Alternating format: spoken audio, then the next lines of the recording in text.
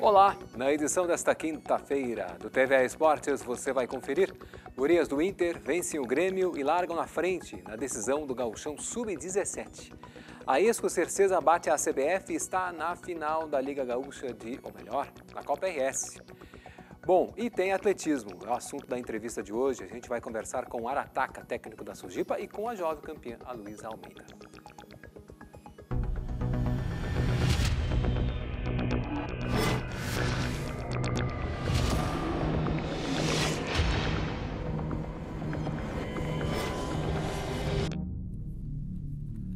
Bom dia, muito bem. As gurias do Internacional venceram as rivais do Grêmio no primeiro duelo da final do Gauchão Feminino Sub-17. 1 a 0 foi o resultado no Sesc Protásio Alves na capital. O único gol do clássico foi marcado pela atacante Gabi Inácio aos 22 minutos da etapa final. O Inter atuou a maior parte do tempo com uma jogadora a menos. Stephanie foi expulsa logo aos oito minutos. Herói alvirrubra, Gabi Inácio comemorou o gol e a vitória colorada. Estou muito feliz, né? A gente vem há muito tempo já trabalhando com isso, para isso, para acontecer o gol. Aconteceu que uma expulsão, mas não destabilizou a gente. O David prepara a gente para tudo. Então foi um jogo muito bom, lutei muito, como a gente é ensinado. E é isso, é o Inter, tem jogo da outro jogo e é isso aí. É isso aí! O Grenal decisivo acontece neste sábado no estádio Vieirão, em Gravataí. Um empate chega para as meninas do Inter conquistarem o título estadual Sub-17. A primeira copinha feminina de futebol foi lançada ontem à noite em São Paulo. Grêmio e Inter são os representantes gaúchos na competição que será realizada em dezembro. O torneio vai reunir 16 times sub-20 divididos em quatro grupos. Esta será a versão feminina da maior competição de base do mundo, a tradicional Copa São Paulo de Futebol Júnior. Só o primeiro colocado passa para a semifinal. Os confrontos iniciam no dia 4 de dezembro, com a grande final marcada para o dia 17 do mesmo mês. As partidas vão ser realizadas em quatro estádios na capital paulista: Nicolau Alayon, Canindé, Arena Ibrachina e a Rua Javari.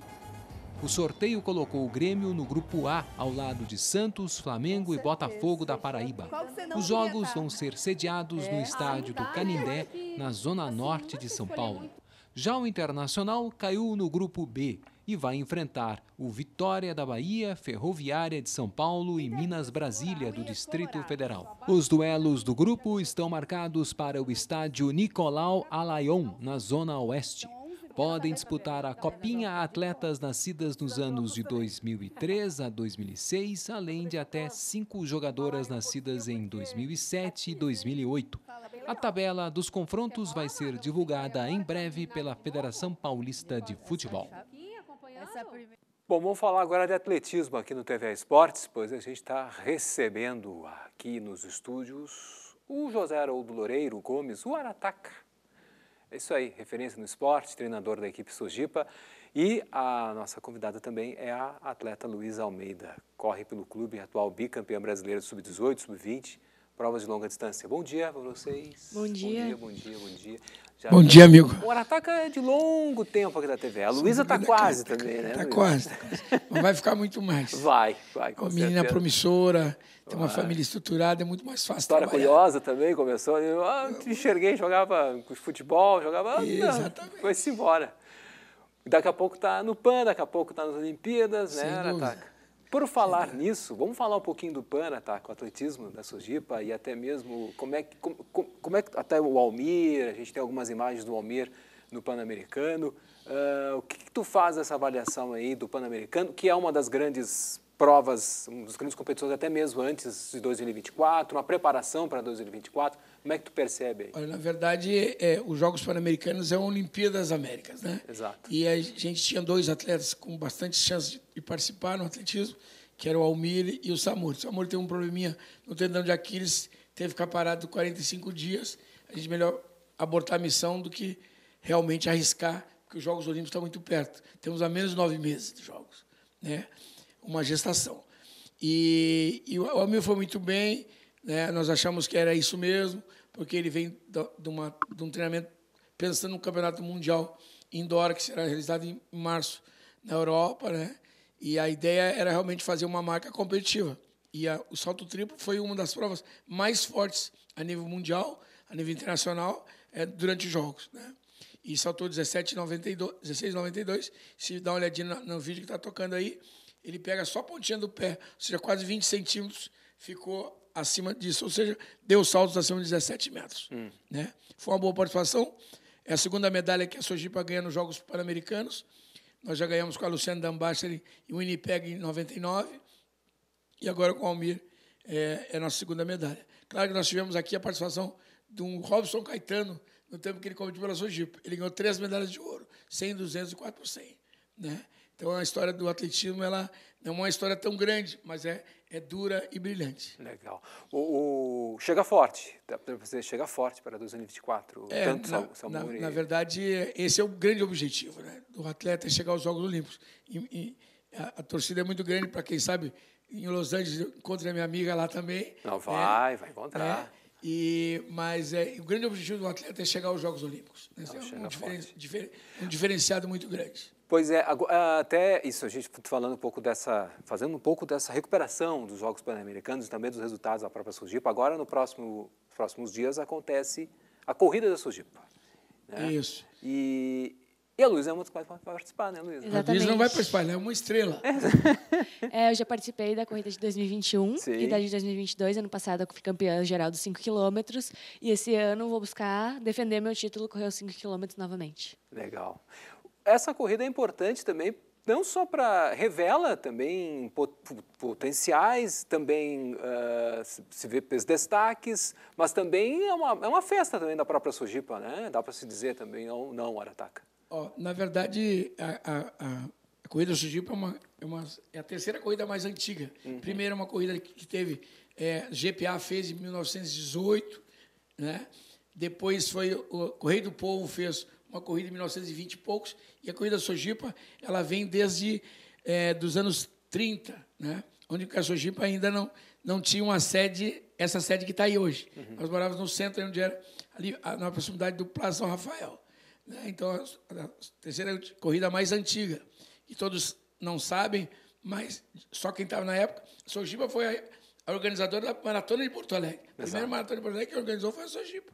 Né? E é realmente, como tu disse, uma festa onde tem a oportunidade de surgir meninas que nem, que nem a Luísa. É uma festa muito grande. É, temos ainda inscrições abertas até sábado, né? É, diretamente no clube, pela internet. Fique muito à vontade, porque é uma bela festa, né, Luísa? Bom, tu já conhece a prova, bem, é bem tranquilo para ti também essa prova, né, Luísa? Sim, é, a única dificuldade da prova é que a gente sobe Digo assim, toda... tem questão de conhecimento, né? Sim, sim, é, a gente sobe toda Dom Pedro, mas é muito legal porque a gente tem a oportunidade de quem não é quem não é de dentro da Sojipa correr dentro da pista, uhum. porque o percurso da corrida ele passa pela pista, a gente corre dentro da Sojipa, dá para ver, o clube é um lugar maravilhoso, é muito bonito. Então é uma oportunidade para quem é de fora conhecer também um pouco de dentro do clube e é uma festa à parte. Eu, é uma atmosfera completamente diferente, corridas assim. Eu adoro muito correr essas corridas de rua, ah. além da o, pista. Que, o que, o que, que, te, o que te motiva nesse sentido? Ah, é que é, são muitas pessoas. Na pista, normalmente, ali eu corro com no máximo 15, 16 gurias. Aí eu corro tanto com mulheres quanto homens, adultos, crianças de todas as idades. E normalmente tem mais de duas mil pessoas correndo. Então é um. E é todo mundo tá lá, não só para competir, mas para se divertir, para com a família, com os amigos e para se superar mesmo, porque a corrida é sobre isso. A corrida não é um esporte para tu competir, tu compete com os outros, mas tu compete muito mais consigo mesmo. Legal. Essas provas, uh, as, corridas, a corrida, no caso, o evento, está confirmado independentemente do tempo.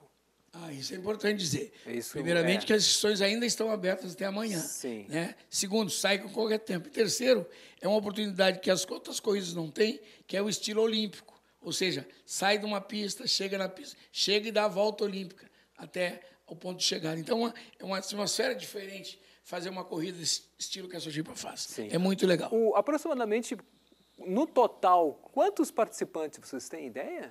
Olha, sempre acima de mil pessoas. Mil pessoas? Mil pessoas. Isso com crianças, adultos? Não, não, depois, É, como a detalhe corrida também. que é importante, ela lembrou que- agora. O ou não, ou na verdade é diferente. Não, é, de são- manhã, digo, os a números co- são é, de diferentes. manhã tem a corrida para os adultos, os 3, os 5 e os 10 quilômetros. Isso. E de tarde, a partir das 15 horas, tem a corrida Kids. Que daí Só são na parte de manhã são mais de mil. Exatamente. Com certeza. Ah, bom. Então com as crianças então ainda muito mais. Ah, dá bastante gente. É uma verdadeira festa de corrida. E pode ter certeza.